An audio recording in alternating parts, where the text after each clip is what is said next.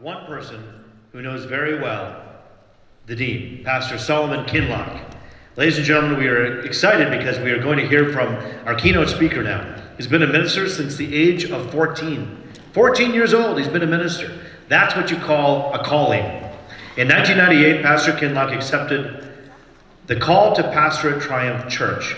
At the beginning of his tenure, Triumph's membership was less than 50 people. Under Kinloch's visionary leadership, Triumph Church has since blossomed into a multi-site phenomenon, utilizing eight campuses, eight campuses, and also hosting 14 weekly services for more than 35,000 members. Pretty incredible. Triumph has been named one of the top 100 largest churches in America. His dynamic leadership has helped drive Triumph's community outreach and ministry initiatives, which include providing tens of thousands of free meals, offering annual scholarships to teens, and various free community workshops that promote healthy financial, mental, physical, and spiritual living.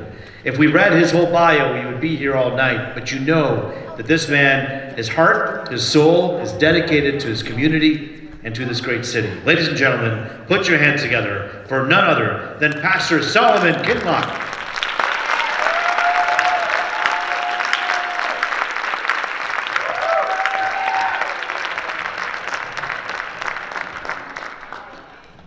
Truth forever on the scaffold, wrong forever on the throne, but in the dim unknown stands God in the shadows, keeping watch over his own.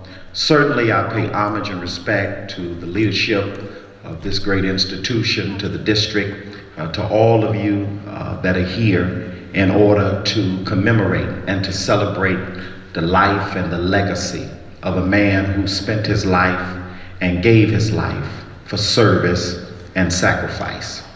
As I stand here today, I'm reminded when Lucy and Charlie Brown were on the deck of a ship. And Charlie Brown said to Lucy, Lucy, life is like that. It's like being on the deck of a ship. Some people take the chair and put the chair to the back of the ship to look at where life has come from. Other people take the chair and put the chair to the front of the ship to look at where the ship is going to. And Lucy just wanted to know from Charlie Brown, Charlie Brown, where have you chosen to place your chair? And Charlie Brown said, I'm just trying to get mine unfolded. Initially, when I came across that, I found it very humorous. But the more I thought about it, the more I realized that that appears to be the predicament and the place that we find ourselves in as a group of people. Because on a day like today, you really don't know where to put the chair. You don't know if you put it to the rear to look at how far we've come, or put it to the front to look at where we're supposed to go to. The reality is, as a people, we're trying to figure out where do we put the chair. Because if the truth be told, many of us that are seated here today have to admit that too many have been victimized by the cold winds of racism and the chilling winds of conservatism that have been beaten across this land. Because everybody wants to be in a land of equality where there's a sharing of the commonwealth, where there's a sharing of the common land, where someone has sagaciously suggested that here is a land where every man ought to have the unalienable right to pursue happiness in our own individual way. But if the truth be told, sometimes we just don't know where to put the chair. We're still trying to get it unfolded. Anthony Campolo is one of my favorite literary people. And Anthony Campolo wrote a book that I came across years ago entitled Who Switched the Price Tag? Anthony Campolo tells about how on a night they labeled as mischief night, he said there would be times that they would break into the local five and dime store. They would take the expensive items and remove the price tag from the expensive items. And he said they would put it on the inexpensive item.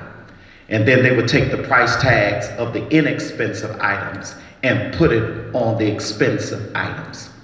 And he said the next day they would sit outside the store waiting on people to come to the register and be shocked and surprised that they were paying for uh, items that were insignificant, but they were paying significant prices. He said, but to his amazement, it was not them that was surprised. It was he and his friends that got surprised. He says, because what he noticed was that they got to the register and paid the price, and nobody even noticed. When I look around today, I got to ask myself the question who switched the price tag? When did the valuable become cheap? And when did the cheap become valuable? Because if the truth be told, we have to admit, in the words of one prophetic voice has described, we have to admit that the urban community corners are occupied with young teenagers who have no motivation and inspiration to strive for a new level of life. Somebody has switched the price tag. Whenever you look at the fact that we and many of our spiritual leaders are talked about in hushed tone dialogue as if we're nothing but jokes. When our words are gazed upon and given the look of incredulity and incredibility. We got to ask the question who switched the price tag when our leaders are constantly under the unscrupulous scrutiny of prying eyes and connotative reportings? The question has to be asked who switched the price tag? I know that on April 4th, 1968, the bullet's assassin uh, took out, the assassin bullet took out Dr. King.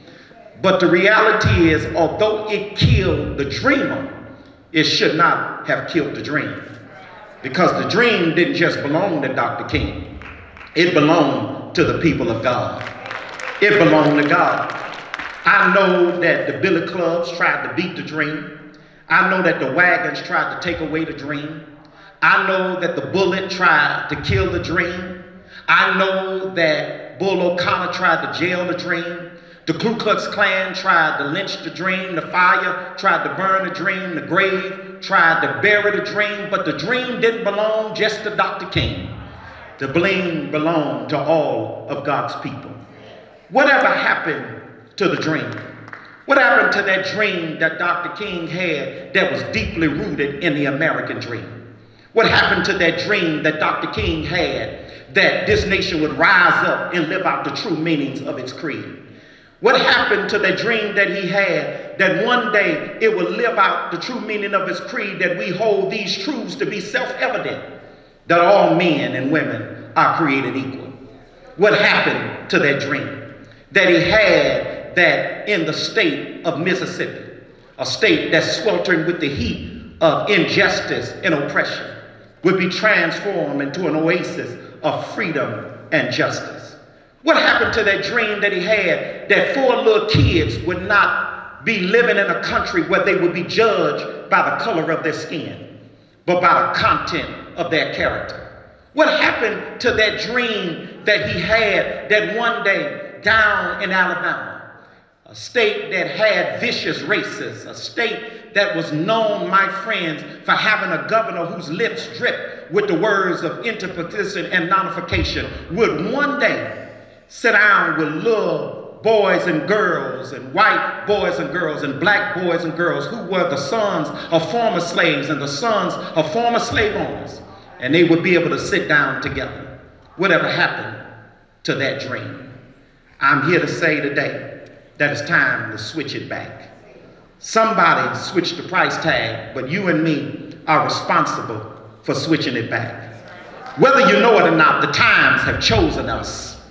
The times have kissed us. You remember that woman by the name of Mary Bethune who was in that commencement ceremony and she stood up. According to history, she was not uh, the most attractive individual by some assessment, but that day she stood up in front of that collegiate class, she said something that caught our attention. She said, Black I am, and ugly I may be. She said, But God still has allowed his sun to shine on me. And I'm here to say today, we've been kissed. We've been kissed by the sun. How do you know that? Because whenever you're journeying in this life, you come to an intersection called opportunity and you come to an intersection called choice. And whenever you come to that intersection of opportunity and choice, you can't go back. Back is like water beneath a bridge, it never flows the same way twice. And anytime you're taking your past, projecting it on your present, sooner or later it's going to become your future. You can't stay where you are because once you've sucked the nectar of God's grace and He's granted you another day, you can't stay where you are because stagnation is premature death. You only got one option. And the only option you got is to move forward. And the day I've come to tell you, that's the option that we have. Isaac the Israelite said something that we need to consider. He said it's a wretched taste to be gratified by mediocrity when the excellent lies before you.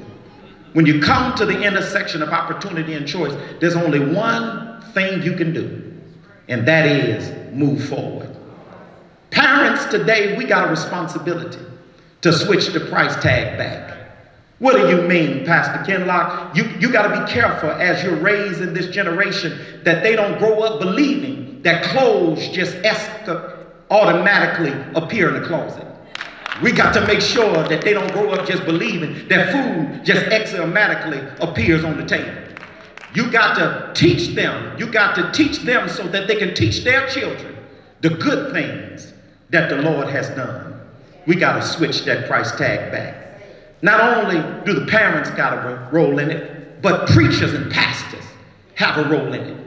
Because we live in a day where prosperity preaching and a privatization of religion has desensitized many people that live in the pew. You got so many people who come and show up who just think it's about my time and my turn. But Dr. King taught us that we had a common mutuality that we had a common destiny, that I cannot be all I'm supposed to be unless you are what you're supposed to be. And you cannot be what you're supposed to be unless I'm what I'm supposed to be because we are tied in this thing together. And we have not only a moral responsibility, we got a spiritual responsibility because none of us can go home and be happy until all of God's children got a home to go home to. Preachers have a responsibility. Parents have a responsibility. But you and me as people, we have a responsibility to switch the price tag back. I remember as I spent a year in study at the American Baptist College in Nashville, Tennessee. I'll never forget uh, that I grew up uh, on the west side of Detroit. And when my mother would go down the street to Tabernacle Baptist Church that was pastored by Dr. Frederick Sampson, she would get food subsidies and she would bring that home and make us meals. And I'll never forget on those days uh, when she would make a meal, I would be outside playing with some of my friends. And she would yell out to us outside and say, dinner's ready. And then I would come in and, and she would say, see if your friends want something to eat. And I would go back outside and I would ask them, Do y'all want something to eat? And then we would come in and we would begin to eat. And I would be sitting there thinking to myself, because I knew uh, I had more sense not to say it to my mom. But I, I thought to myself, why is she feeding people when she don't know where we're going to get our next meal from? And then I remember that year that I was at American Baptist College in Nashville. I went down to the Watson Grove Church.